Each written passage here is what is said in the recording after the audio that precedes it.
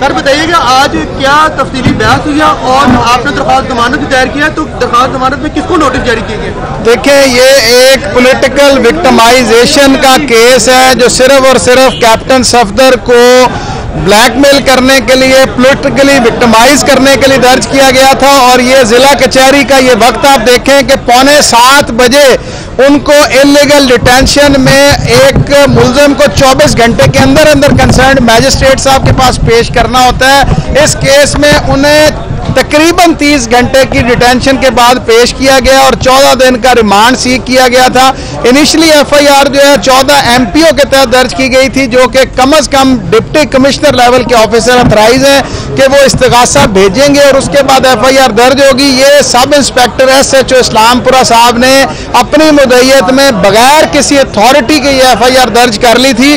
تو اس کو ہم نے ایجیٹیٹ کیا، اس کے بعد سبسیکوینٹلی اس کے اندر پانچ سو چھ بی اور ایک سو چوبیس اے کا آفینس لگایا گیا تھا۔ تو ہماری بحث سننے کے بعد جائش صاحب نے پولیس کی طرف سے ریمانڈ مانگے جانے کی استدعا جو تھی، اس کو ٹرن ڈاؤن کر دیا۔ اور ہم نے پھر ان کی، کیونکہ کچھ آفینسز نان اویلیبل ہیں، تو ہم نے اس میں پھر ان کی آفٹرسٹ بیل جو ہے، وہ میں نے پٹیشن موو کر دی ہے، جس میں پرسوں کا رانا تاثیر سب انسپیکٹر جو کمپلیننٹ ہیں، ان کو نوٹس ہو گیا۔ انشاءاللہ تعالی پرسوں ہم اس پہ آرگو کریں یہ بتائیے گا کہ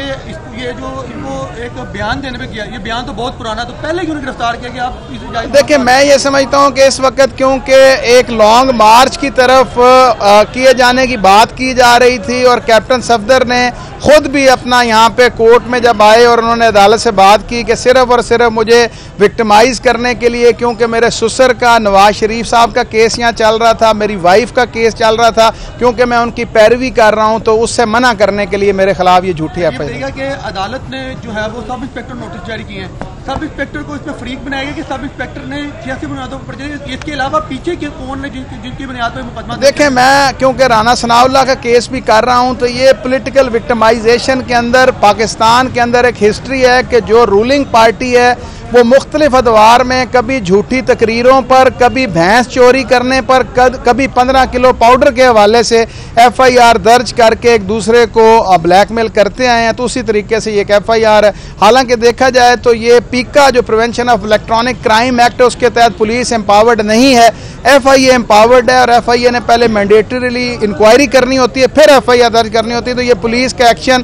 میلس اور میلافائڈ پہ بیس کرتا ہے۔ اسی لیے انہیں ریمانڈ نہیں ملا اور کیپٹن صاحب کو جوڈیشل کر دیا گیا۔ Bundle of thanks